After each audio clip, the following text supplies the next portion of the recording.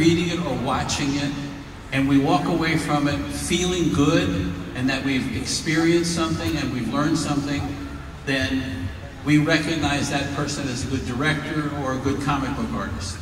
If you don't understand it, or it's too complicated, or too stiff, and not enjoyable, you don't enjoy it. So whatever skills that you learn as an artist or a director, you apply to the story that you do, and there are certain basic rules to storytelling. You start with an establishing shot. You make sure you have close-ups where the people are looking at the camera. You make sure that their faces are expressing the words in the story. You make sure that the action is interesting and doesn't go off the panel. You make sure that the things that people see are the things that you, as an artist, enjoy seeing yourself. Just like a director does, just like uh, Spielberg does. He has a way of seeing on the screen what he sees in his mind. And what he sees in his mind is an interesting story. So a good comic book artist, as you already know, tells a story that you enjoy. That's really what it comes down to. So all the skills, the anatomy, the perspective, everything that you know is applied to doing the one job that you have to do, and that's to tell an interesting story. So, as a result, you can take a good written script and give it to a bad artist, and it's a crappy story. Or you can give a terrible script and give it to a terrifically good artist, and it turns out to be a pretty good story because his ability to tell that story is that much better. What you really want is a really good story told by a really good artist. I have been lucky enough in my career to work with Denny O'Neil, Roy Thomas, some of the best uh, writers in the business, and, uh, and because of that, it's added to my reputation and allowed me to tell stories that people really, really enjoy and collect and they reprint them over and over and over again. Yeah, like the Green Lantern. Like the Green Lantern, Green Arrow series, which I think will be reprinted forever. And each time it's reprinted, the price will go up. It's about $50 now, I think. Then there's the omnibuses that sell for $100 The- and they weigh eight pounds. So anyway, I, I think that you'll find that the, the, the better an artist does, the more it gets reprinted, the more it becomes current. Even though it's not current, it seems current because the, the artist writes for every day, or every year, for every, uh, every epoch. Like Rembrandt writes for, for, you know, draws for everybody. Michelangelo paints for every epoch. He doesn't, it's not just locked in his time. So artists draw for the ages, or try to. Sometimes fail.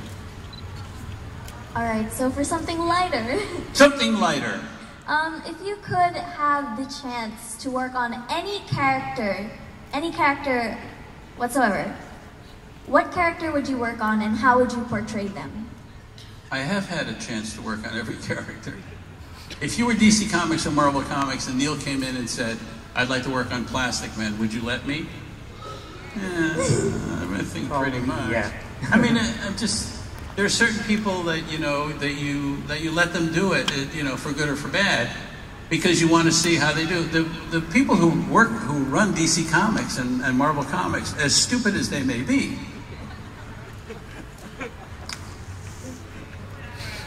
DC Comics and Warner's make lousy movies. I'm sorry. Marvel makes great movies. DC makes good animation. Marvel makes kind of animation. Just, but the but the, people at these companies are fans, just like you are. They're they're fans. They they would like to see Neal Adams draw Plastic Man. Wouldn't you like to see it? So. I'm just saying, whenever I say anything, you know, I, want to do more Deadman. I want to forget, forget everything that everybody's done on Deadman, and I want to do it again. And I want to pick up what I ended 35 years ago. They say, sure, go ahead. Because they want to see it too, because they're comic book fans. So they're, they're just as geeky as you are. Jim Lee is a geeky comic book fan. I showed him, I, we were in a, in a discussion in an office room, and I had my original design for a Green Arrow, okay? And he had a quiver on his back. It's the only time you ever, you ever saw his quiver drawn by me. And it's in three sections, so it molded to his back. One, two, three, like slats of a fence. So it would bend with his back. And Jim Lee is sitting there, we're pretending we're having a business meeting, and Jim goes, Oh, that's how you do it. It's three slats. I get it. He's a fan. Got it. So it's you can't you know, people have like serious discussions. I have I wear ties, okay? I wear ties. This got the bat symbol on them. I go into business meetings wearing cartoons, Tasmanian devil on my tie. Because I don't want people to think I'm serious, because I'm not. You know, they're serious, and then they'll look and go look at your tie and go, ah, that's Tasmanian devil. Aha, you're a cartoon, just like me. So people, this thing about, you know, adults and they don't get it, they all get it. They're all lying. My father used to steal into my room at night and he would take my comic books, go read them, and then he'd put them back. So I wouldn't know he read my comic books. Really? That's what people do. I'm just saying that it's a comic book world and it's not that serious. You know, they say, you know, science is, is uh, it's not rocket science. It's not rocket science. It's easy. Nothing to it. You just study it, you learn it, and that's the end of it. Geology, all those things are, you know, kid stuff. Especially if you learn it. And then you, you talk to a geologist and you say, I want to talk to you about geology because I've got some questions. And, they, and their eyes light up because that's the thing that they're geeky about. And they love to talk about it. And if they were comic book fans, they would talk about Batman. I got a, a, a guy who is a, a, a rabbi, okay? And he comes to every comic book convention in the New York area and he talks about comic books. And I try to get him to talk about theor- uh, religion, about uh, the Torah. He doesn't want to talk about the Torah. He wants to talk about Batman. I'm just saying, they're geeks, and so they they'll let me do whatever they think is going to be fun. They will never say they will never say no. Why would they? You know, we're in it for fun, aren't we? We're taking over the world. Really? I mean, we got comic books in India. Our the biggest comic book in India that I know of is Archie Comics.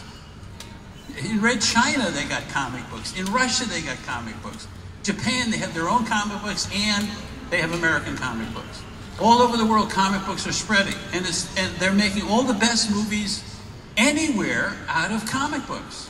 $250, $250 million movie, it's a comic book movie. You're not going to spend the $250 move, um, uh, $250 million on To Kill a Mockingbird.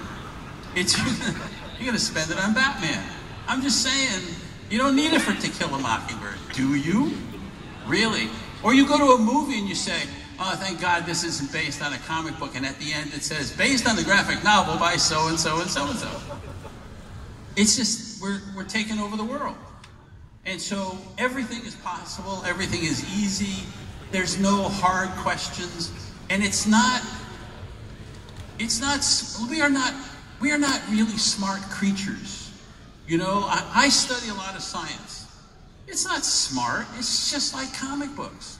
I mean, if your kid is interested in really any field, as long as they attack it the way a comic book fan attacks comic books, they're going to have a great time doing whatever it is that they love to do.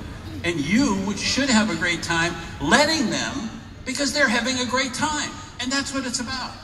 We've come away very diligently and effectively away from the boring eight hour a day job. We've moved toward entrepreneurship. We've moved toward interesting projects.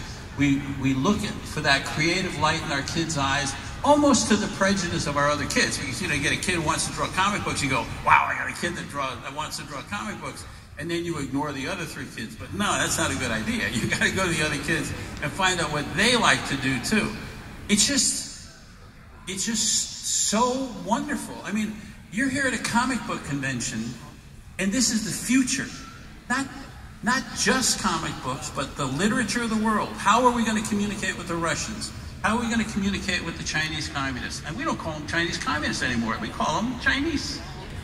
We've forgotten that, you know? And so we're all going to make peace and nobody's going to die. Right? Because nobody dies in comic books. If they do, they come back to life. Just like Professor X. Just like Professor X. Yeah. He's Um, gonna come, he's due to come back to life soon. Say.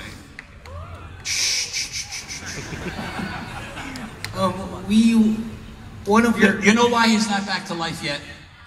Because God is trying to grab his head and he keeps slipping his hands off of it because it's bald. I- made that up. I'm sorry. one of your early works is with Archie Comics or Archie Joke Books, right? Yeah. Could you share us a story about you know your early works, early adventures with Archie?